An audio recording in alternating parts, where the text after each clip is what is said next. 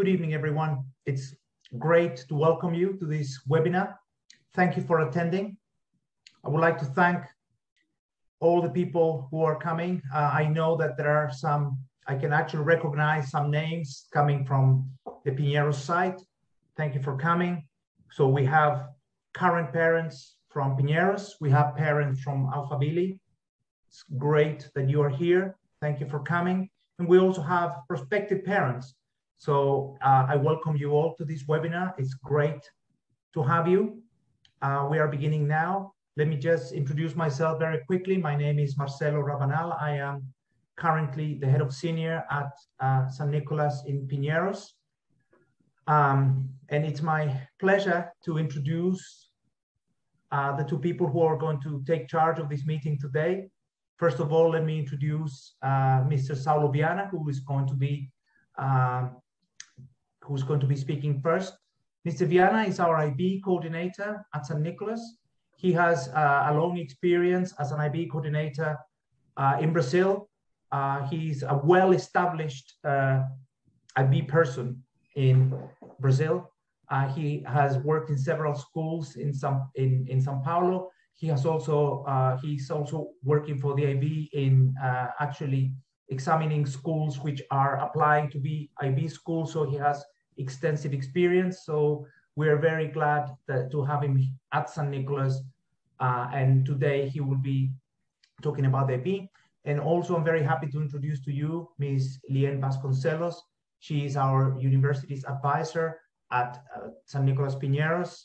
Uh, she has been working with us for a number of years now, and she is in charge of all university uh, admissions. Uh, she gives important orientation to students who want to go and study abroad.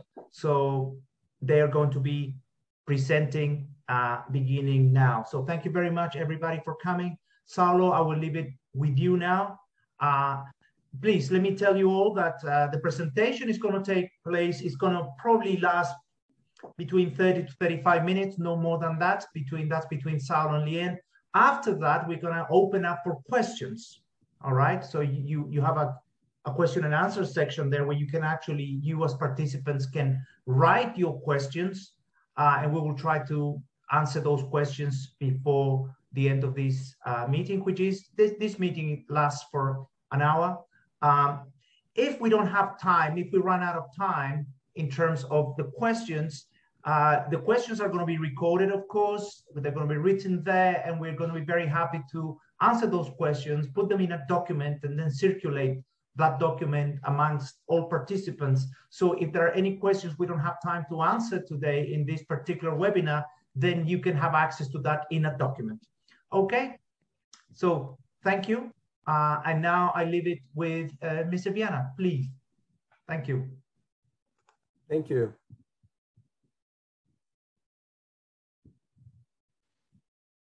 Thank you, Mr. Rabanal. Um, so I will be actually interviewing Saulo, asking him some questions about IB, but we would like to, again, as Mr. Rabanal said, thank you all for coming today, this evening, to learn about the IB diploma program at St. Nicholas in Pinheiros. We're really excited to be here. And I think we will begin. So first question, Saulo. This is probably pretty easy. What is the IB? Or maybe that's really complex. okay, uh, thank you, Lien. Well, welcome everybody. Good evening. It's a pleasure to have you all here. IB is a very common acronym and it stands for International Baccalaureate, which is a non-profit foundation um, that was created in 1968 in Geneva, Switzerland. The IB offers four different programs for uh, learners aged 3 to 19 years of age. Perfect. Can you also tell us how international is the International Baccalaureate? Okay, that's, that's a very good question because since 1968, the IB has been growing a lot.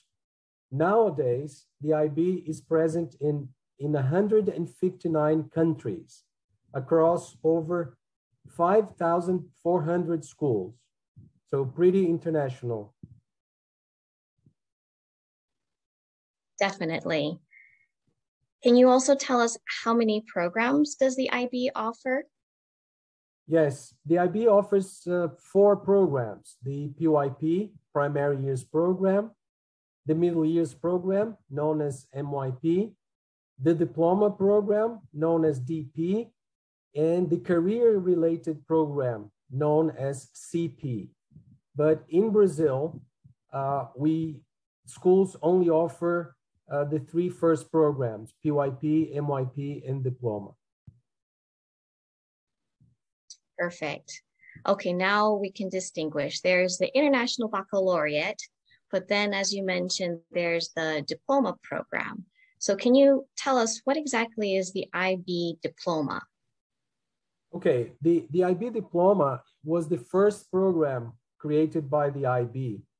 Uh, the idea of the teachers in the International School of Geneva, who were the creators of the program, was to guarantee some sort of standards for um, students, European students mainly, who were studying abroad uh, because their families were working abroad. And when they returned to Europe, they wanted to make sure that people had uh, similar qualifications instead of different qualifications depending on the country.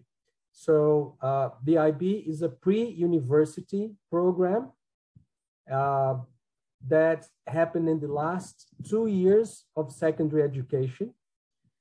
Um, and it prepares students to enter universities directly without having to do any uh, entrance tests or exams. Um, in Brazil, the diploma program is the most popular program. Just to give you an idea, in our um, attendees, there are 49 IB World Schools in Brazil. Out of those 49, 37 offer the IB diploma program. Wonderful.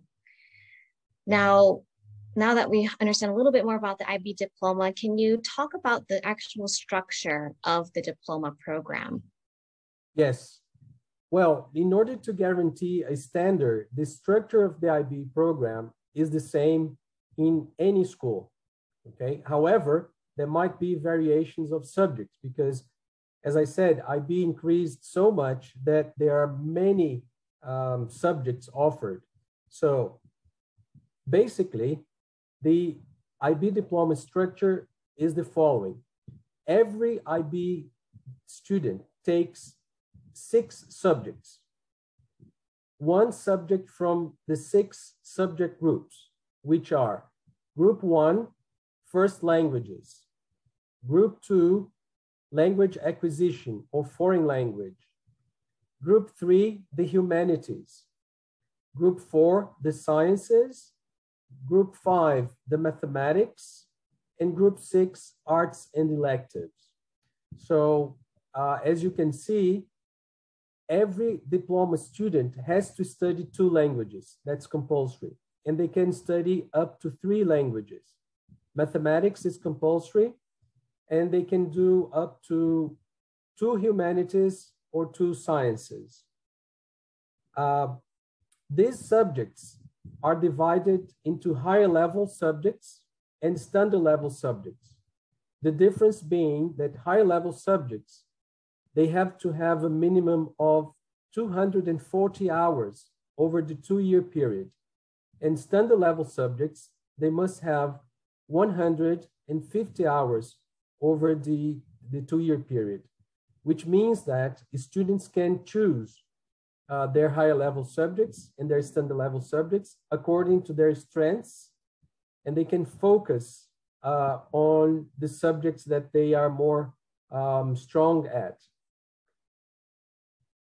Uh, on top of the six subjects, students have the core, which call, we call the core of the IB, which uh, covers three elements, the extended essay, which is a written piece of work based on research on any IB subject and uh, has to have a maximum of 4,000 words.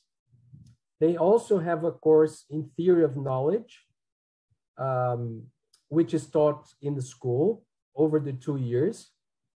And they also have to take part in the CAS program. CAS stands for Creativity, Activity, and Service.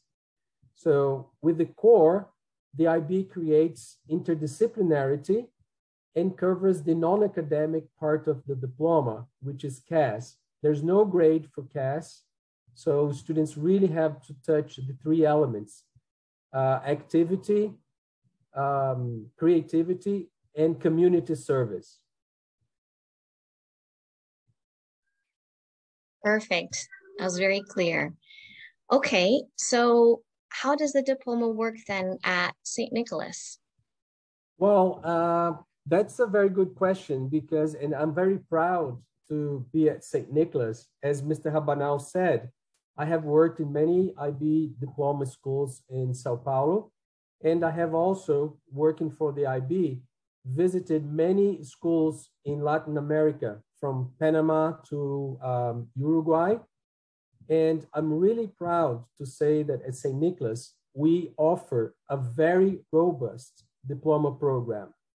Uh, as you can see with the slides uh, we are going to present now, um, we offer a very good range of subjects and students start thinking about the IB diploma when they are in year 10. So towards the end of year 10, they start choosing the, the subjects. And the IB diploma, they, starts in August of year 11 and it finishes in May of the year 12. So on this slide, you can see that, uh, yes, St. Nicholas has decades of experience as a school and uh, 20 years of experience with the IB diploma. We are proud to offer 22 subjects uh, for, the, for the IB diploma that students can choose from. And all these subjects are in higher level and standard level. Uh, just for you to have an idea, uh, we offer five languages at St. Nicholas. Of course, students can take as many as three, uh, but yes, we do have five uh, available. All our students go through the IB diploma program, which is a great advantage. We do not select students. We do not have a parallel program. They all take part of this experience. Uh, we have a personalized learning support to um, support the students because the IB diploma is arguably one of the most demanding um, high school programs in the world. And some students find it very difficult and they need some support, and we offer that. We have uh, individual career counseling, which is your part, Leanne. And I'm sure that next week, when you have your webinar, you're going to present in detail what is the career counseling at St. Nicholas. Uh, our CAS program is really, really strong. Uh, the school has um, contact with many institutions in Sao Paulo, so students have a varied uh, opportunity to take part in the CAS program. And our results are very consistent and very good. So the next slide can show you um, the results. So this is the May 2021. So as you can see, uh, the average DP score in the world was 33 points, maximum of 45. At St. Nicholas, we were at 35. Uh, the DP grade, which is from one minimum to seven maximum, the world was 5.19 and we were 5.89, which is very good. And the pass rate, we are well above the world average. Last year, we had 100% pass rate in our diploma. And uh, yes, we do have students achieving very, very high, above 40 points.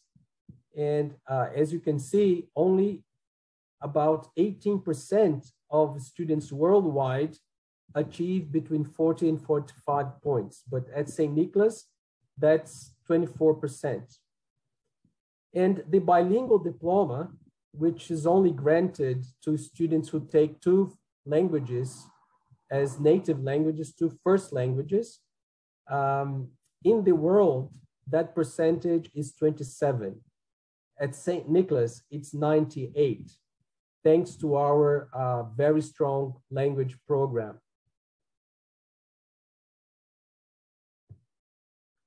And this is just for you to see that we are not just talking about this year, 2021, but if you look since 2017, the last five years, uh, you, you can see that we consistently achieve very high results, which is an indication, I don't want to say proof, but an indication that our teachers and the school is well prepared to offer every learner the opportunity to achieve their full potential.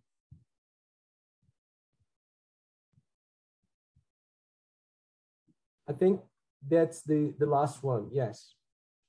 Perfect, thank you so much, Saulo. Okay, uh, lastly, can you tell us why is the International Baccalaureate Diploma recognized and valued worldwide? That's, that's a very good question. It's not only because of the result, but it's because the academic excellence of the program and also because the program brings uh, not only the subjects, the academic subjects, but also other elements that are related to the person. So we have the IB learner profile, for, for instance, with 10 attributes that value things like being courageous, being a risk taker, being a reflective person, balanced, principled. And at St. Nicholas, that IB learner profile comes from the PYP. So the minute the student enters the PYP or enters the school, these attributes um, are developed in, in the school. And by the time they reach the IB diploma program, this is part of the culture and students they are autonomous they are independent they learn how to solve the problems they face they learn how to approach their learning developing strategies um, managing their time because time is a problem in the diploma program. There isn't much time to do everything they have to do. So these are skills that they acquire when they are going through the diploma program. And uh, it's a very good preparation for university. And if you allow me to give a personal example, uh, my daughter finished the IB program three years ago. She's now uh, at university in Europe. And we were talking the other day, and she was telling me how many papers she had to do for university. And she said, "Yeah, I'm. It's fine. It's uh, I did so many papers at the IB. That's not difficult." But my friends at university who didn't do the IB, they are all uh, pulling out their hair because they find the paper uh, very, very difficult to, to, to write. So these are the advantages of the IB diploma program that are uh, not very clear with the final results because they are part of the student. So it's not a, a number, it's uh, a way of being that the students develop in the IB program. Definitely, I, I can't agree more just based on the number of graduates from St. Nicholas who tell us how much the IB diploma prepared them for university. And in comparison to their peers, they definitely feel more prepared. So I definitely agree.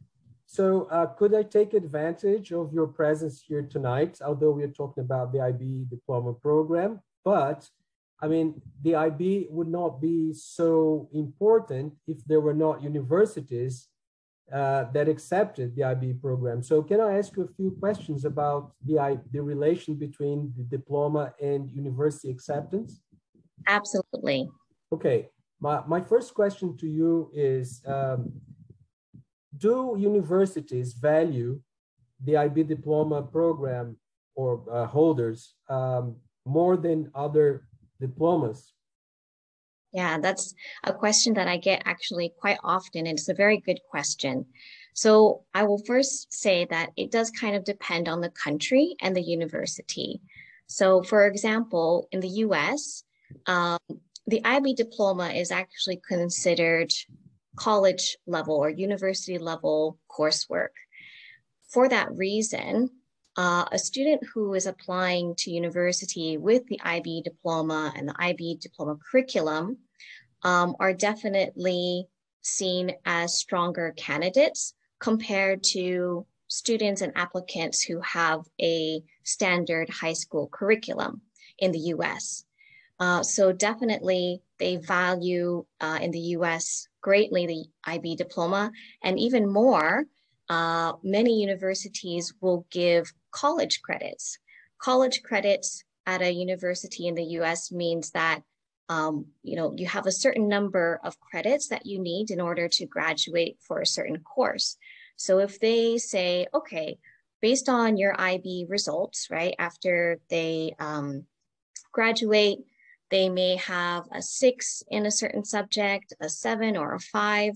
Each university has their criteria, but the vast majority of US universities will offer college credit to those who obtain specific results. And that means that they can move on to higher level courses instead of doing the introductory ones like the rest of their peers.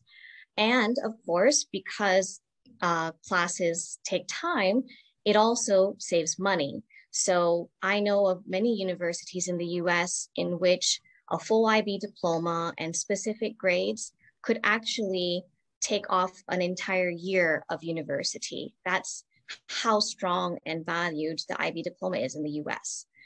Now, like I said, it's not the same everywhere. Um, so for example, in the UK, Canada, and the Netherlands, the IB diploma is considered equivalent to their high school, uh, national high school diploma. So there isn't any specific preference, but I think what's important is that they actually recognize it as a equivalent to their high school diploma. So just to give you an example, um, other countries, including Brazil, whose obviously the high school curriculum is really strong, but still in these countries or certain countries, the Brazilian high school diploma is not accepted on its own for admission to university or specific courses. So, um, you know, our students really do have that advantage of having access to universities all around the world without having to do additional testing or additional year of university um, before they can enter university abroad, which is what many Brazilian uh, applicants who only hold a Brazilian high school diploma have to do. Wow, yeah, thank you very much for that. As you mentioned Brazil, uh, when I started as a DP coordinator some decades ago, uh, parents always asked me, uh, when is the IB diploma going to be recognized in Brazil? And I had to say, oh, sorry, Brazil doesn't know about the existence of the IB diploma.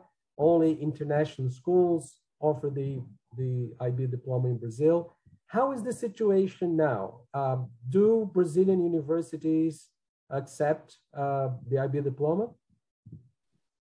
Yes, the number of IB um, or Brazilian universities that accept the IB diploma for admission is growing in the last few years. So at the moment, we have 15 universities in Brazil that accept the IB diploma as a substitute for the vestibular. So uh, just to name a few, some of the more popular universities include Einstein, which means that you know you could apply with the IB diploma to study medicine, uh, ESPM, FAAP, FGV. Um, there's a new school called Link Business School, IBMEC, and then um, also universities that have a wider range of courses like Mackenzie and PUC.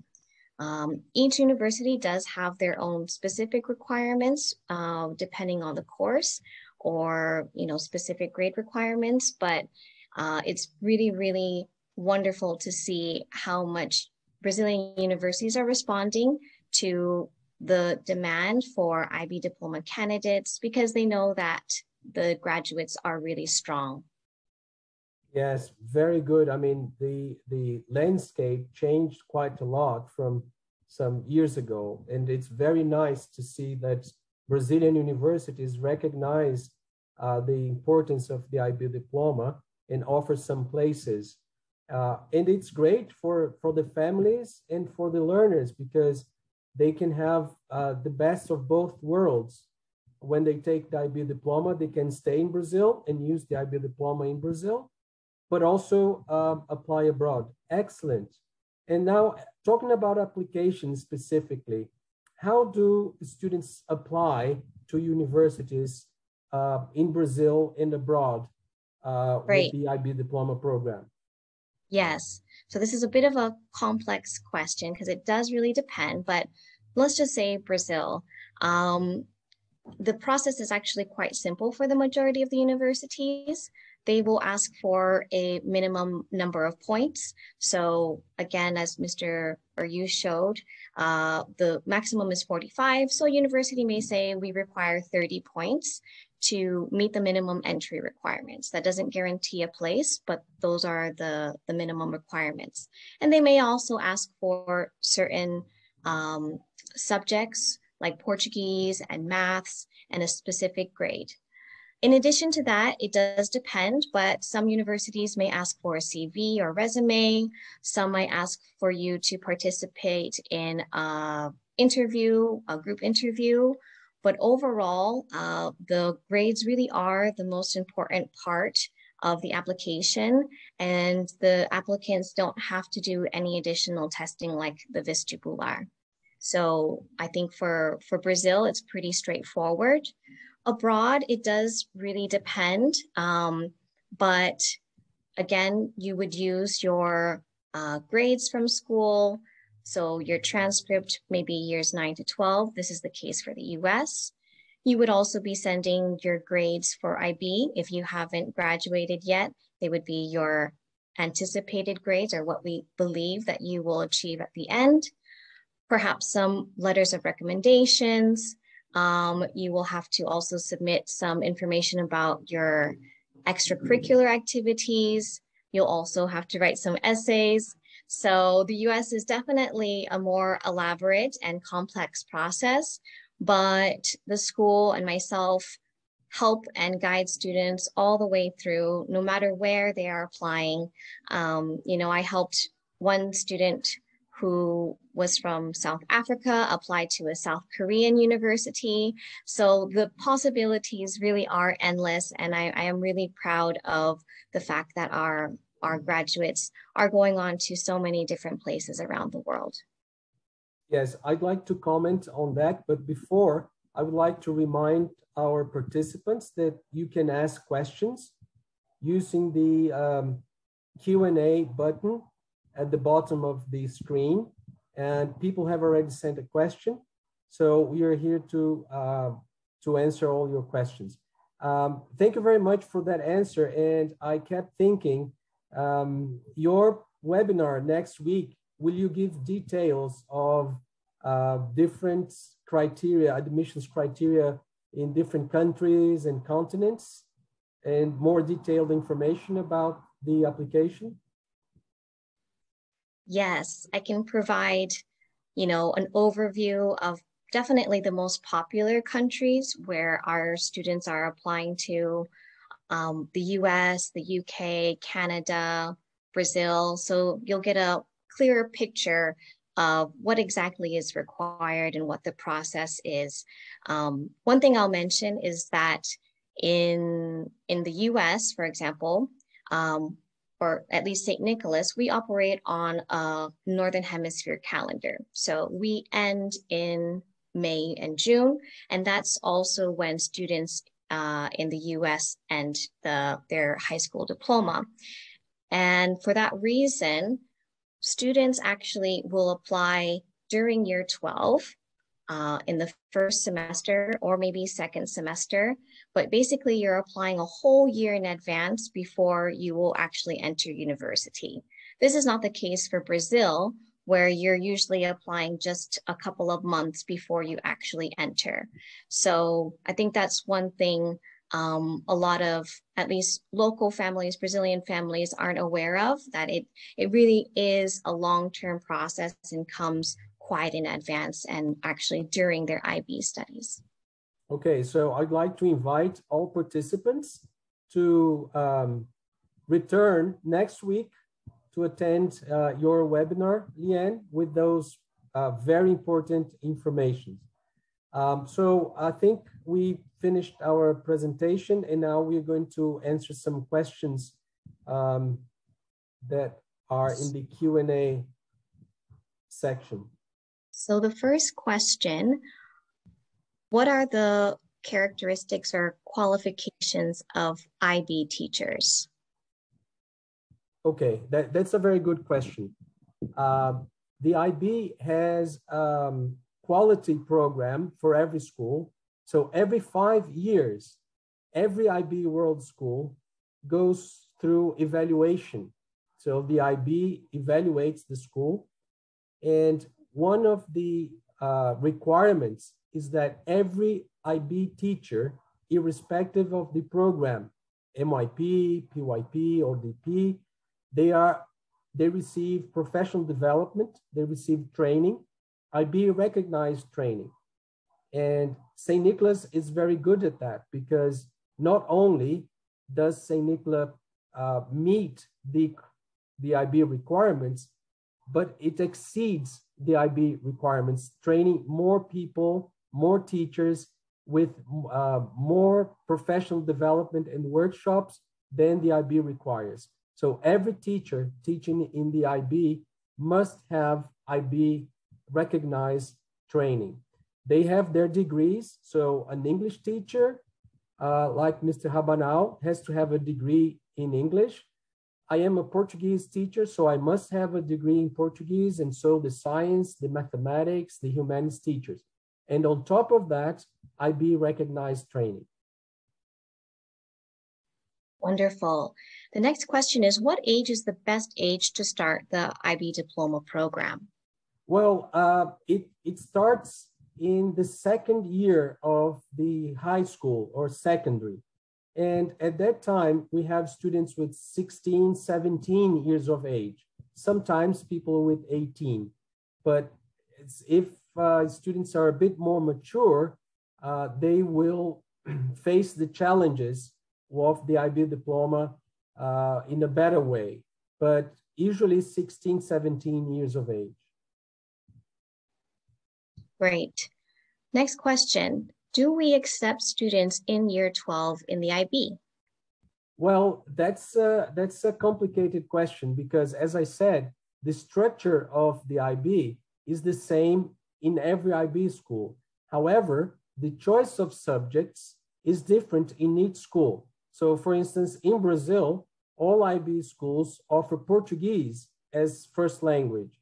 Uh, IB schools in the US uh, do not necessarily offer Portuguese, or a school in Argentina does not necessarily offer Portuguese. So students who change schools in between, they might find very difficult to catch up on the subjects that they uh, did, did not do in their first year and also the timeline of the schools might differ. For instance, we start our extended essay in February of the first year of the IB. Some schools start earlier and some students, some schools start later. So uh, it's a case by case analysis. There is no uh, definite answer to that. Each case has to be analyzed separately. Thank you. So I'll answer this next question. Yes. Do we have students applying to Australia? And how did it go? So actually in the last um, four years that I've been the university advisor here, we have not yet, actually we have had a student apply and, and they did enter, but we haven't had anyone uh, go to university. Before I became the advisor though, we did have a graduate go on to the university in Australia.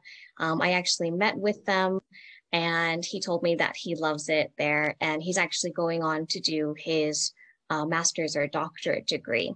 So Australia actually is, I think, one of the simplest application processes in the world. Um, I've had students just basically send their results uh, for IB because their application cycle happens after um, students graduate from St. Nicholas.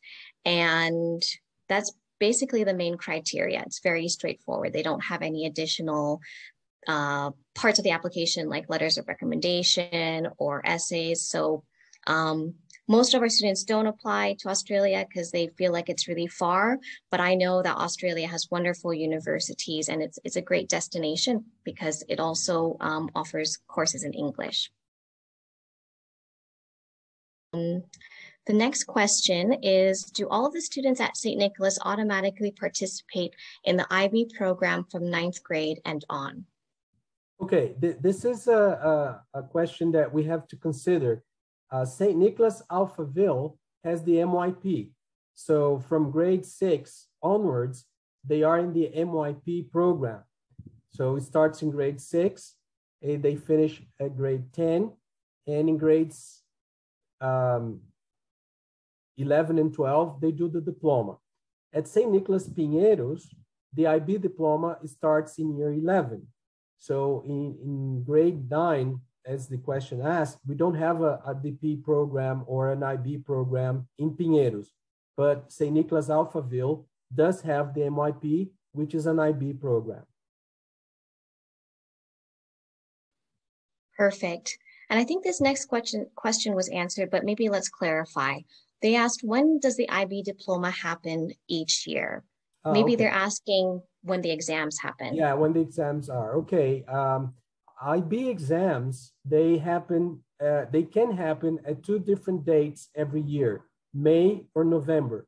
Usually for Southern Hemisphere uh, calendar schools, they take the IB exams in November. And for Northern Hemisphere calendar schools, they take the IB diploma in May.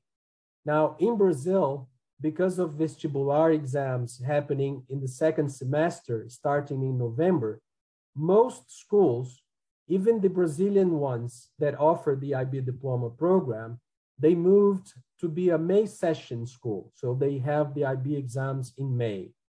As St. Nicholas is a Northern Hemisphere calendar school, uh, we sit our exams in May and the academic year finishes in June. So our academic year starts in August and finishes in June. So when the students take their IB exams, they finish high school. Great. I'll answer this next question. Does an IB diploma help in the process of securing a scholarship in the US? So this is a, a little bit of a tricky question. What I'll say is that, um, as I mentioned before, IB diploma candidates are seen very highly because it's considered a more rigorous program than the high school diploma in the US. Um, there are actually scholarships specifically for IB students. So definitely you will see that um, having an IB diploma is beneficial in the US. There are other parts of securing a scholarship though. So some for example, might ask for a range of uh, minimum IB diploma points. Um, I know of one scholarship that is for IB and asks the minimum requirement of 40 points for a student to secure the scholarship of $20,000. So um, it, I think it's, again, definitely beneficial and can definitely get our students scholarships.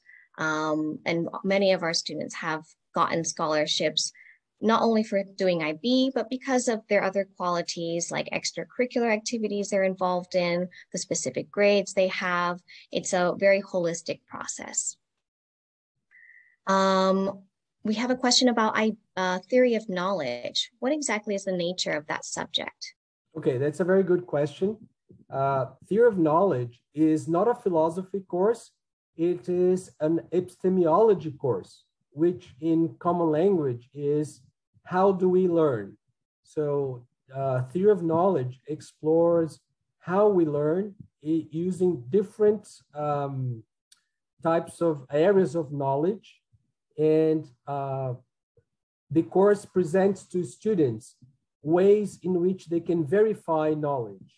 So it's a very interesting course that touches base with the humanities, the sciences, the mathematics, the languages, and also other areas of knowledge uh, like tradition, indigenous knowledge, um, and uh, it's some students think it's philosophy, but it's not. It's basically how do we learn and how can we check what we learn?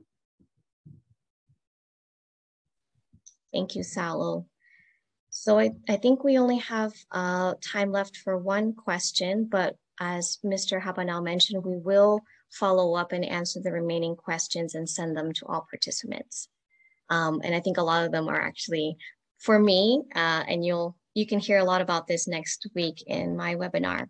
But one um, person is asking when the tests and essays start and when students have their grades when they apply to universities.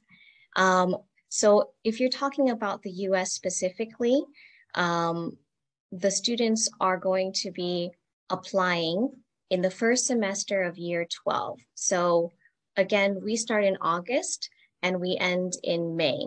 So many uh, universities in the US require that you apply between November and January of your final year of high school um, before you, uh, so that you can attend university in the fall or in August or September after you graduate. So again, it's a whole year ahead.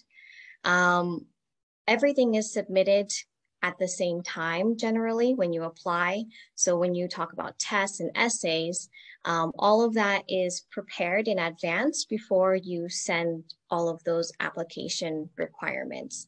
Um, at St. Nicholas, we start students uh, with test preparation in year 11 and also provide guidance in terms of essays and applica application process in year 11 as well. Um, Thank you. Very good. I think that's that's it for today. Thank you so much, everyone, for attending the webinar about the IB diploma.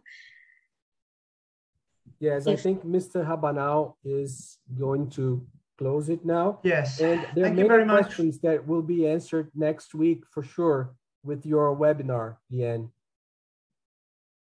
Yes, thank you very much, Lian. Thank you very much, Saulo. That was that was very, very interesting, very informative. Um, there are questions. Please, let me just remind our attendees that if we did not have time to answer a question live here, we're going to take all those questions and answer them, and then we're going to circulate that to you in a document. Okay, so keep that in mind. We are answering all the questions. They're all very interesting questions. So thank you for submitting your questions. Uh, uh, and that's exactly what we're going to do. And I'm sure some of those, if you attend uh, the very interesting upcoming uh, webinar that Lian is going to be uh, uh, leading next week, then you will also be able to answer that question, or you, she, she might actually be able to answer that question in, at that time. All right. So again, I would like to thank everybody for attending. I hope this has been helpful for you all. Uh, and it's been lovely to see you. Thank you very much, everybody. I appreciate your attendance today. Thank you, Saulo. thank you, Lian. Goodbye. Everybody. Thank you, everyone. Thank you very much. Thank you, Lian. Thank you, Marcelo. Thank you, everybody, for attending.